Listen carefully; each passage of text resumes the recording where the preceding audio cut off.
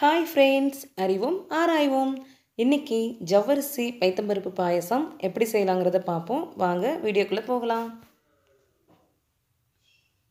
பாயசத்துக்கு தேவையான பொருட்கள் என்னென்னு பார்த்துடலாம்.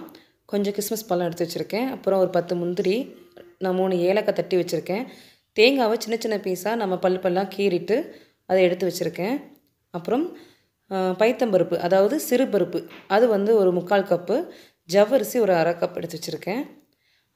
மண்டை வெல்லம். அதை வந்து நல்லா நுணுக்கி அதையும் ஒரு கப் எடுத்து வச்சுருக்கேன். அப்புறம் ஒரு ரெண்டு டம்ளர் பால் கிட்ட எடுத்து வச்சுருக்கேன். இப்போ நம்ம எப்படி செய்யலாங்கிறத பார்ப்போம். ஸ்டவ்வில் நம்ம ஒரு வானொலி வச்சு சிறுவத்தம்பருப்பு நம்ம வந்து நல்லா வறுக்க போகிறோம் மிதமான ஹீட்டில் வறுத்தா போதும். ரொம்ப கருவு விடாத அளவுக்கு மிதமாக வறுத்தா போதும். ஸ்மெல் வர்ற அளவுக்கு வறுத்தா போதும். ரொம்ப ப்ரௌனிஷாக ஆகணும்னு அவசியம் இல்லை. பார்த்தோன்னா தெரியும். இந்த கலரில் இந்த பக்குவத்தில் இருந்த மாதிரி வறுத்தா போதும். இப்போ இதை வந்து நம்ம கொஞ்சம் வாஷ் பண்ணிவிட்டு ஒரு ரெண்டு டம்ளர் தண்ணி ஊற்றி வேக வைக்க போகிறோம் நல்லா மையாக வேகணும். கொஞ்சம் வாஷ் பண்ணி ஊற்றிக்கோங்க ஃபஸ்ட்டு தண்ணியை அப்புறம் ரெண்டாவது தண்ணியை நம்ம குக்கரில் வச்சு வேக வச்சு விடலாம். இப்போ நான் வாஷ் பண்ணி எடுத்துக்கிட்டேன். குக்கரை மூடி வச்சுட்டு நான் விசில் வைக்க போகிறேன் நல்ல மையாக வேகிற அளவுக்கு ஒரு ரெண்டு மூணு விசில் வேக வச்சு எடுத்துக்கோங்க. இப்போ அடுத்தாப்புல நம்ம ஜவ்வரிசியை கொஞ்சம் வறுத்துக்கலாம். ஜவ்வரிசி ஏன் வறுக்கிறோன்னா அப்போ தான் அது வந்து கொஞ்சம் பொரிஞ்சு வரும். அஹ் பாயசத்தை சாப்பிடும்போது கொஞ்சம் நல்லாவும் இருக்கும். சீக்கிரமாக வெந்துடும் ஸோ அதனால் ஜவ்வரிசியை வந்து கொஞ்சம் லைட்டாக மிதமான தீயிலே நல்லா வறுத்துக்கோங்க. கொஞ்சம் பொறிஞ்சு பொறிஞ்சு நல்லா பார்த்திங்களா எப்படி உப்பி வந்திருக்கு பார்த்திங்கன்னா இந்த மாதிரி வர அளவுக்கு வறுத்தா போதும். இப்போ நான் இதே நல்லா வறுத்து எடுத்துக்கிட்டேன். அப்புறம் ரெண்டு சிட்டிகை நெய் ஊற்றிக்கோங்க இதில் வந்து நம்ம வெட்டி வச்சுருந்த பல் பல்லாம் வெட்டி வச்சுருந்த தேங்காய் இருக்கு இல்லையா அதையும் போட்டு நம்ம லைட்டாக ஃப்ரை பண்ணி எடுத்துக்கலாம். இந்த பாயசத்தில் இந்த தேங்காய் நம்ம எடுத்து சாப்பிடும்போது நல்லாயிருக்கும். குடிக்கும்போது அது வாயில் படும்போது நல்லா இருக்கும் ஸோ அதனால தான் நான் இப்படி வந்து நெய்யில் வறுத்துக்க சொல்கிறேன் உங்களுக்கு இந்த மெத்தட் பிடிக்கலைன்னா சாதா துருவி கூட நீங்கள் தேங்காவை அப்படியே சேர்த்துக்கலாம் பாயசத்தில். இது நல்லா இது கொஞ்சம் ப்ரௌன் ஆகிற அளவுக்கு வறுக்கணும். ரொம்ப முறு விட்டுறாதீங்க ரொம்ப ரஃப் ஆயிரும். இந்த அளவுக்கு வறுத்தா போதும். இப்போ இதையும் எது எடுத்து வச்சுட்டு அதே எண்ணெயிலேயே நம்ம அந்த பத்து முந்திரி பருப்பையும் வறுத்து எடுத்துக்கலாம்.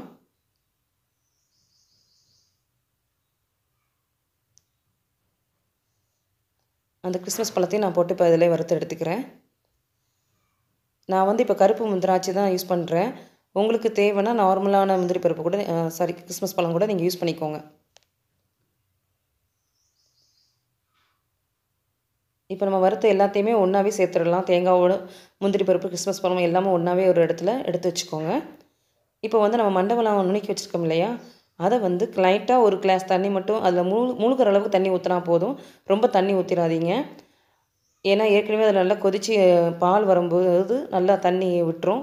ஸோ அதனால் நீங்கள் லைட்டாக மூங்குற அளவுக்கு தண்ணி ஊற்றிக்கோங்க இப்போ இதை நல்லா கொதித்து நான் எடுத்துக்கிட்டேன். கொதித்து இதை வந்து நம்ம ஃபில்ட்ரு பண்ணி எடுத்து வச்சுக்கணும்.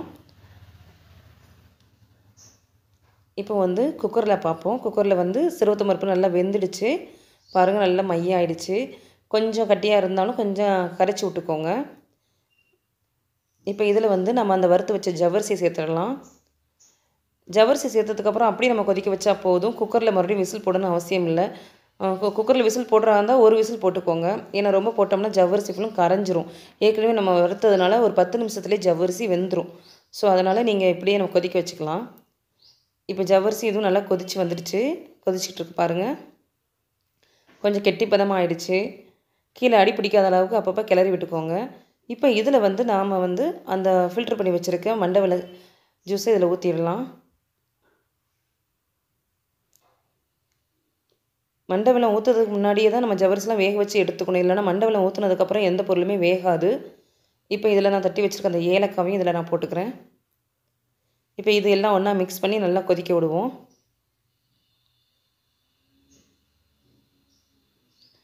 அடி பிடிக்காத அளவுக்கு நல்லா கிண்டி கிளறி கொதிக்க விடுங்க.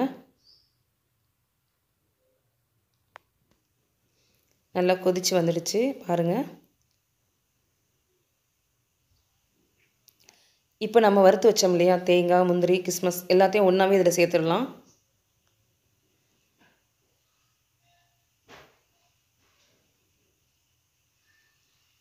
இப்போ எல்லாம் ஒன்றோட ஒன்றா நல்லா மிக்ஸ் ஆகிடுச்சு இப்போ வந்து நம்ம பாருங்கள் நல்லா தெரியும். கொஞ்சம் கெட்டி பதமாகவும் ஆகிருக்கு நல்லாவும் மிக்ஸ் ஆகிடுச்சு இப்போ இந்த ஸ்டேஜில் வந்து நம்ம வந்து பால் சேர்த்துக்கலாம்.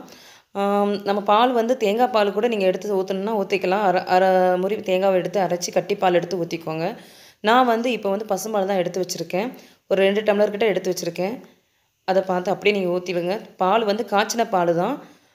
அந்த ஹீட்டோடு நம்ம ஊற்றும் போது கண்டிப்பாக பால் திரையாது. ஸோ அதனால் நீங்கள் பயப்பட வேண்டாம். இந்த ரெண்டு டம்ளர் பாலையும் நான் அப்படியே ஊற்றிட்டேன் இப்போ நல்லா கிளறி விட்டுருங்க.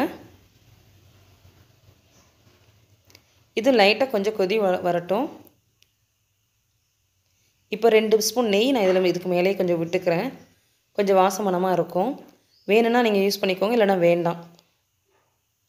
நெய் மனத்தோடு சாப்பிடும்போது தான் அந்த சிறுவத்து பருப்பு பாயசம் ரொம்ப சூப்பராக இருக்கும். பாருங்கள் பார்க்கவே அழகாக கலர்ஃபுல்லாக இருக்குது இது போக போக கொஞ்சம் கொஞ்சமாக கெட்டிப்படும். ஸோ அதனால் ஆற வச்சு நீங்கள் வந்து குடிக்கும்போது கரெக்டாக சமமாக அந்த ஸ்டேஜுக்கு வந்துடும் இப்போது ஜவ்வரிசி பைத்தம்பருப்பு பாயசம் ரெடி ஆகிடுச்சு பாருங்கள் இப்போ கொஞ்சம் ஹீட்டாக இருக்குது ஆறிடுச்சுன்னா இதோட கெட்டித்தனம் தன்மை கொடுக்கும். பாருங்கள் குடிக்கிறதுக்கு ரொம்ப நல்லா இருக்குங்க இந்த பாயாசம். கண்டிப்பாக வீட்டில் செய்து பாருங்கள் எப்படி இருந்துச்சுங்கிறத கமெண்ட் பாக்ஸில் கமெண்ட் பண்ணுங்கள் ஃப்ரெண்ட்ஸ்டையும் ஷேர் பண்ணுங்கள் சப்ஸ்கிரைப் பண்ணுங்கள் பெல் பட்டனை கிளிக் பண்ணுங்கள் thank you friends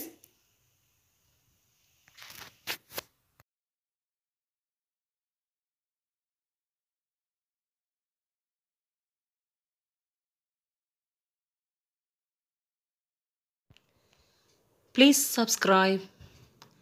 Click to bell button. Thank you.